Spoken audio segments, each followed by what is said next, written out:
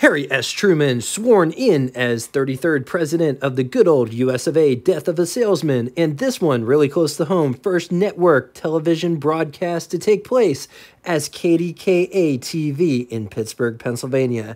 The year is 1949, and this Cadillac Series 62 special could be had at your local Cadillac showroom, but before getting into all of it, I'm Jay. Welcome to What It's Like, the automotive channel that covers the classics, vintage, some exotics, lots of orphan cars, and frankly, cars that are being forgotten. We talk history, specs, and design of these rolling works of art. If that sounds like a channel that you will totally dig, subscribe and hit the bell icon next to it to never miss a video. For those that don't know, we have Engine Episode Wednesdays where we take engines from cars, talk about the history, overview of those particular engine families. This Wednesday, or possibly Thursday, it's going to be first generation AMC V8. We're going to talk about one of the most overlooked, underrated engines of the 1950s, if not ever, the legendary AMC 327.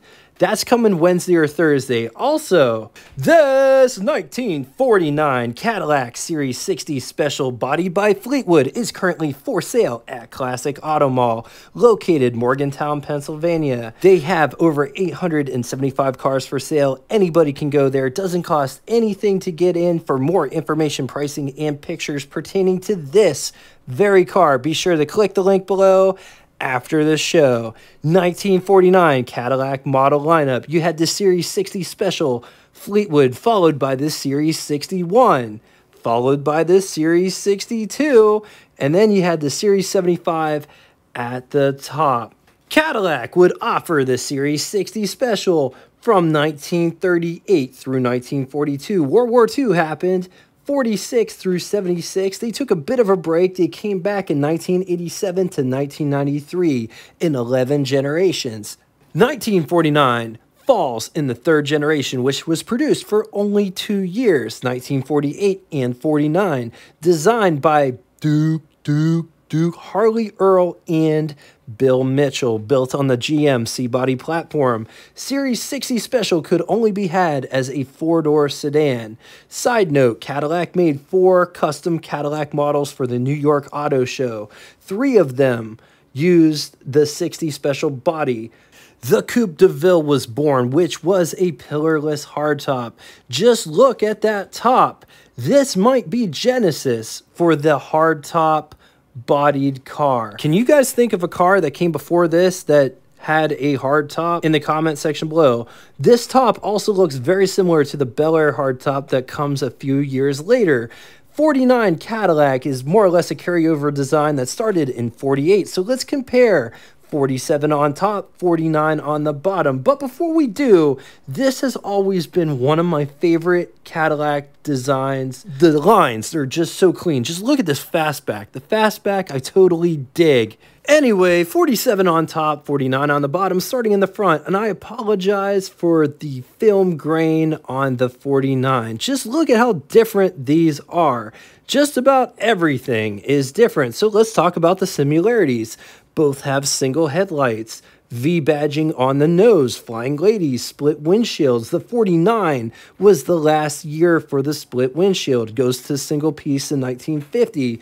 I just love the styling of the 48 and 49. Not to say that the design of the 47 is bad, it's just really cleaned up. The bumpers are different. Front fascia, the grill section has two rows of bars on the 49 versus four rows of bars on the 47. The nose isn't as tall on the 49. Turn signals are in the same location but are smaller on the 49. Moving to the side profile, different bumper profiles wrapping around to the overhang just in front of the front wheel wells. Just take a look at the front wheel well design. They look the same, and yet the fenders designs are completely different. The roof looks very similar between both of these cars, both having front and rear vent windows. The rear fenders are different. Look at how different the rocker molding is. Moving to the rear, both have three-piece rear glass. The 49 is sporting fins, whereas the rear of the 47 looks more rounded. Trunk profiles are also different moving inside. Two completely different dash layout designs. Which one do you like better in the comment section below? Let's talk specs. 226 inches long, 78 inches wide. It rides a wheelbase of 133 inches. It weighs 4,130 pounds. Price $3,830, which is equivalent to you spending $49,193.13 in the year 2023. Total 1949 Cadillac production was 92,554 units, of which Total Series 60 Special, body by Fleetwood, was 11,399 units. Moving on to engine, but before we do, 1949 was a huge year for Cadillac. With the introduction of their very own overhead valve V8 being released alongside the Olds rocket engine, Cadillac featured shaft mounted rocker arms, lighter skirtless block. Oiling system used central cast in passage between lifter galleries, feeding oil to the cam and crank by grooves machined in the cam bores. 331 cubic inch displacement, overhead valve, V8, 5.4 liters. It was good for 160 horsepower, 3,800 RPM, 312 pound feet of torque at 1,800 RPM with a bore of 3.8 inches and a stroke of 3.6 inches. Compression was 725 to 1, featured five main bearings. Built of cast iron, pistons were aluminum alloy, slipper type could be backed with either a three speed manual or four speed automatic Hydra-Matic. When equipped with the 3-speed manual, 0 to 60 could be had in 13.1 seconds. Theoretical top speed 98 miles per hour. Average fuel consumption 11.6 miles to the gallon. And these are all baseline numbers. You could get better than these numbers. You could get worse than these numbers. Just a jumping off point if you have one of these cars and it's running a little too rich and you're not getting that that is what these numbers are for. Let's talk chassis Front suspension, independent knee action with coil springs in the front. The rear, semi elliptical leaf springs. Brakes, it uses four wheel hydraulic drum brakes. Steering gear, recirculating ball, 25.6 to 1. The frame is a rigid X frame, reinforced side members with deep X member junction. Let's talk styling. Just look at all of the bright work on this beautiful car. And I'm going to say something that's a little controversial. Look back over here from far away you can't really tell that this is a Cadillac. It kind of sort of looks like a Chrysler in a lot of ways. It's not a bad thing. It just looks very understated for a Cadillac. But there is a lot of bright work going on in this design. Running lights and or turn signals. Just look at how this bumper wraps around. And this isn't even the bumper. This is above the bumper. It wraps around further than the bumper does. Look at the bumper in relationship to this piece. Nice big wide bezels around the headlights. This looks like stainless. I love these bumper overriders and or bumperettes. They're huge, but not only that, they got like little fins how cool. Beautiful Packard V8 badge right there on the nose of the car. I love how this is all pushed up in the center. There's also an ever so slight center line going up to this lady and then it runs to the windshield. But just look at all the lines going on in the hood design itself.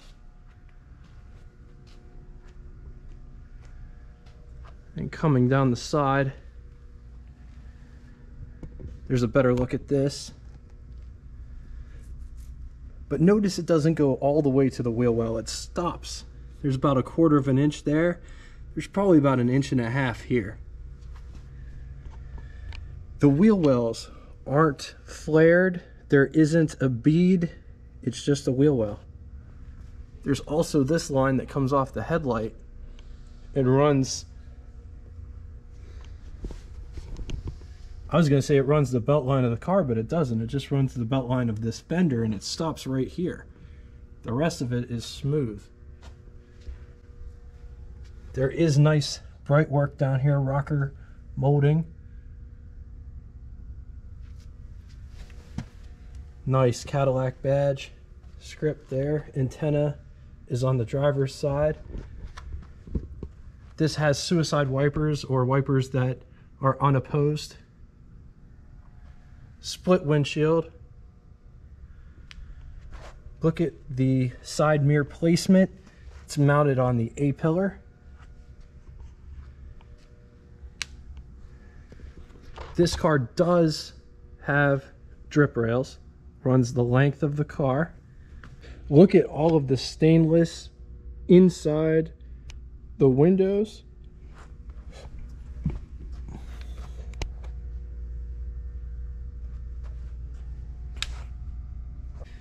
Look at this gravel guard. This car also has a fender bulge and fender skirts.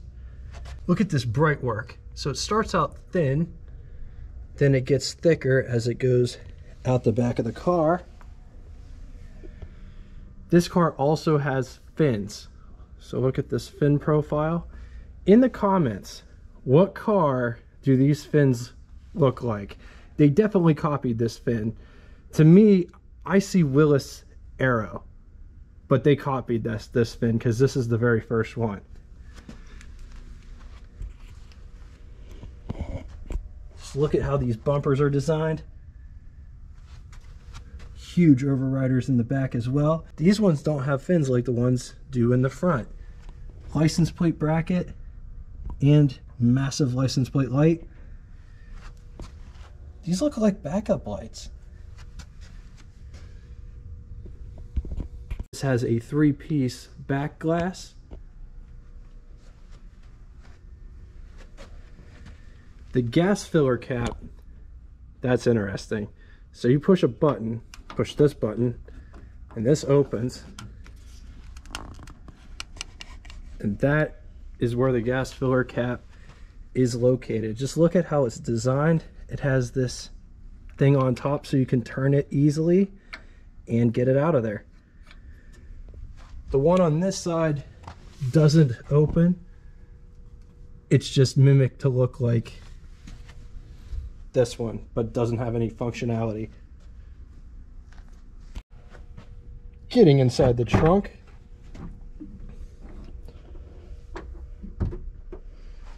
The trunk lid isn't that heavy, but I think it's counterbalanced with something. But just take a look at the inside of this trunk lid. Also, check out how big this trunk is. The load floor is nice and low, so you could just literally just put stuff in there. There's enough space in this trunk for a full-size spare, bias-ply spare of course, with a bumper jack off to the side. You could get a couple bodies in here, no problem. If that's what you want to use this car for, I don't judge. Getting inside, but before we do, look at how this door handle is designed. Notice it protrudes at the top here. I wonder if it does that on, yeah, and it does it on the bottom. So that's different.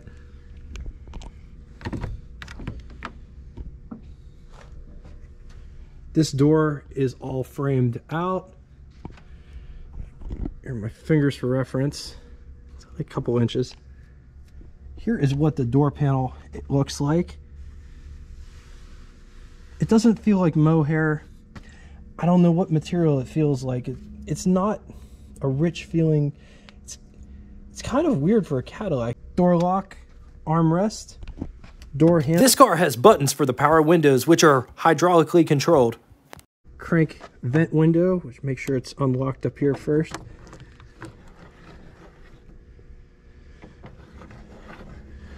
Look at how this door panel is designed. Notice how much thicker the material is here and it curves so it meets up with this. Coming down inside the pedal box, high beam switch. There is no clutch. Brake pedal, gas pedal. Steering wheel column right there hood release, emergency brake, and or handbrake.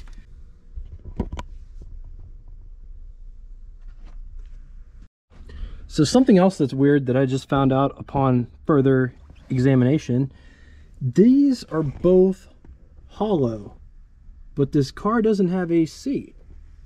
So why would they hollow it out like that and make it connect? It's it's it's very interesting.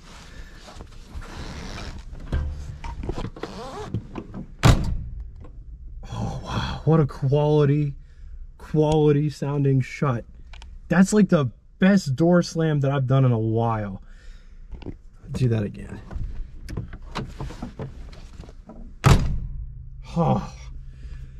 It it definitely doesn't sound like that when I shut the doors of the Prius. But just look at how this connects. That's really cool. Here's what over the hood looks like. Here's what first person over the hood looks like. I love the visibility in this thing. It's nice and airy, and you'll see that when we get to the greenhouse. I'm just really blown away by that. This car has always been one of those cars that's always been like, what is that one like? And the visibility out the front windshield is great. One of the best views of any car from this period.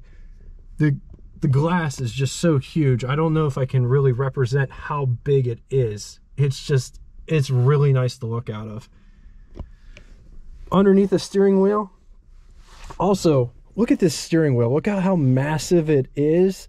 I love the colors. I love the, I don't know if you would call this ivory. It's a very, very nice color. I absolutely love it. Underneath the steering wheel, there's tons of room to put my hand in between my lap and the steering wheel. The only reason I show that is because if you're driving down the road and the steering wheel's in your lap, it doesn't feel that great after a while, especially if you have to slam on brakes and you and you go into the steering wheel if you don't fit in the car, it's not a good driving experience. On then to the button switches and knobs, starting on the left and moving right. Headlights, gasoline gauge, coolant temperature gauge, speedometer with odometer inside of it, flanked by turn signal indicators, tripometer, amp meter, oil pressure, heat direction for upper and lower vents, radio, clock, handbrake, wipers and wash feature, next to which I'm not sure. Drive modes read, neutral, drive, low, reverse, starter button, key, lighter. Up above, there are sun visors and they're they're on the big side. Like there's my hand for reference. There's a daytime, nighttime rear view mirror here, which that has to be a pretty rare feature for 1949. Over here, another sun visor for the passenger. This is what I look like sitting in the front seat. And I get it. There's tons of headroom because people wore top hats, ladies wore sun hats. But you don't feel claustrophobic in this car at all because of how much headspace there is. Let's talk about the seats. The the seats are made of this really interesting material. I don't know what it is. It doesn't feel like broadcloth. The seating profile, the position in which the seat is, very, very comfortable in this car. It's one of the most comfortable 50s cars, early 50s cars I've ever been in. Here is my niece situation to the dashboard. It's a non issue. It's awesome in this car. On to the glove box test. There's our test subject. Here is my hand for reference. Here is the glove box in question.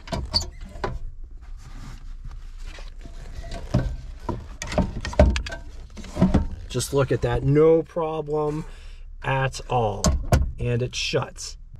Coming to the rear door, but just look at how much thicker this door is. Also, where the cutout is for the wheel well and how it is over here. Look at this big pad.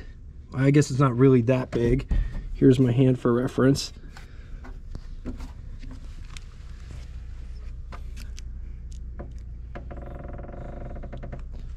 So this door doesn't have an armrest. It does have rear vent windows though. Unlock it, that, and then you can crank it open. And I think any car that has vent windows in the back is just pure class. So classy. Door handle to get out, window for the big window, and it's electric window. Here is what the rear looks like. Look at how much space you have back here. Also, it does have armrests, they're just not on the doors. Watch this. If you time it right, it will shut itself, just like a Tesla. Here is what the front looks like from the back. Let's take a quick gander at the greenhouse or the pillar to glass ratio. And that's what visibility looks like out the rear from the back seat. There is a parcel shelf. Notice three-piece back glass. All right, let's talk seating profile back here. The seat back does sit rather upright and it does dip down in the back, but it isn't uncomfortable per se. Because you have all the room in the world. Like, look, it's raked. The floor is raked. You can't see it, but it, there's an elevation here as like a footrest. Tons of knee space. It's not not an issue. Robe rail, you could put a thick blanket on this to keep warm in the wintertime because the heating systems weren't that great and they were generally down there, but this one doesn't even really look like it has a heater. It might be in the center there. There is an ashtray right here as well as cigarette lighter. This car does have an armrest as well. Operates like that. There is a center light, dome light in the center. Notice it's vertical and the switch to operate it is right here. Armrest, coat hook on both sides. There's armrests on both sides as well. Coming to the under the hood section, we've already released it from the inside. The other catch is right inside here. Oh man, the hood is super heavy. It latches onto here, but you have to push it up quite a ways for it to go. So just look at that beautiful Cadillac overhead valve V8 sitting sits way back inside here. Just look at all this. And the radiator sits right here. It's crazy. It's almost like mid-engine. From the front. It's got oil bath air cleaner. This one has the windshield washer fluid in the jar. Generator. This is all the heating, pipe work, ventilation. Oh, that one's for ventilation. This one has the heater on it. I'm not used to seeing the heater box on this side. It's got the oil filtration on the outside of the block. On the positive side, timeless design, V8 power, adjustable front seat, hydraulic windows, big, spacious, both front and rear, great visibility out of the huge front windshield. And I was trying to think back at a car that this reminded me of when sitting in it, and I couldn't think of one, but I thought of one since then 1953 Kaiser Manhattan. This has very much the same feel. Huge glove box, full instrumentation. Against it, it is a big, heavy, and thirsty car. The seat material wasn't up to the par of the car, in my opinion. All right, now it's time for Would You Rather. Two scenarios today. In the first scenario, would you rather have a 1949 Packard or 1949 Cadillac or 1949 Lincoln? I'm going to leave this here for a minute. If you need more time, feel free, pause the video. Now, moving on to the second scenario, a bit different money, no object. Would you rather have a 1949 Buick sedanet or 1949 Cadillac sedanet or 1949 Oldsmobile sedanet? I'm going to leave this here for a minute. Just admire it. Just take it all in. One of the most sexiest body designs ever, in my opinion. All right, now it's time for Name That Tune. First person to get both the name of the band and song title correctly in the comment section will have their comment pinned to the top of it. I had to throw you one completely out of left field. Anyway, thank you all so much for coming out and watching this. If you'd like to get in touch with me, shoot me a comment in the comment section below. Check out our Facebook group, which I call the After Party. It gives you the opportunity to share your rides, stories, experiences, and pictures. It's kind of sort of like a community bulletin board, but way more than that. If you'd like to check it out, link will be in the description. If you don't have Facebook and would like to reach me, talk to me one on one, whatever send me an email. All of it will be linked in the description below. Just know I appreciate all the support. And until next time, toodaloo! And the funny thing is, you're only 16, but you're my teenage queen. Oh, my, my queen. You're the prettiest, loveliest girl I've ever seen. I've ever seen.